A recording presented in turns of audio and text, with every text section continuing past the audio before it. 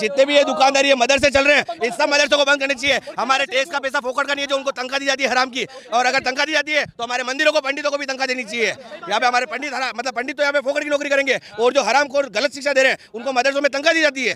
बंद होना चाहिए ऐसे मदरसे। नुपुर शर्मा को कह रहा है जेल में बंद होना चाहिए। नुपुर शर्मा को क्यों बंद होना चाहिए? एक भी मौलवी आके अगर वहाँ पे डिबेट में ये बोल देवे कि उसने जो बोला है गलत बोला है तुम्हारी कुरान में लिखा हुआ है वो उसने बोला है तो क्या गलत बोल दिया? हाँ? हदीस में लिखा हुआ है। अरे किसमें भी लिखा हुआ है? लिखा हुआ तो है।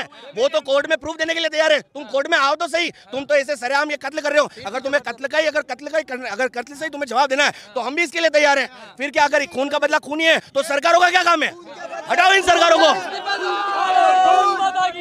है प्रधानमंत्री का भी यही हाल करेंगे। पहुंचेगा प्रधानमंत्री वीडियो में वीडियो में ऐसे भपकी देने वाले प्रधानमंत्री को खूब है। ये एल्ले केले प्रधानमंत्री छुरा है वो मोदी है। मोदी है वहाँ तक वो शक्ल भी नहीं दिखा सकता है। अभी जब से पकड़ा है ना दोनों की शक्ल सुअर जैसी नज़र आ रही है।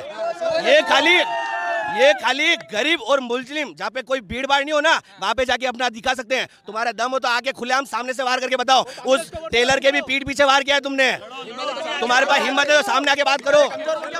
एक एक बात और बताता हूँ। ये तो इतना कांड होने के बावजूद भी उत्तर उदयपुर में शांति है। यही कांड दूसरी जगह या कहीं और इनकी साथ में हुआ होता ना तो अभी सरकारी बसें, सरकारी संपत्तियाँ चल रही होती। लेकिन हिंदू इतना अनुशासित है कि उसने किसी प्रकार की संपत्ति को नुकसान नहीं पहुँचाया है। अगर पत्थर आया तो जवाब उसी तरीके से दिया जाएगा।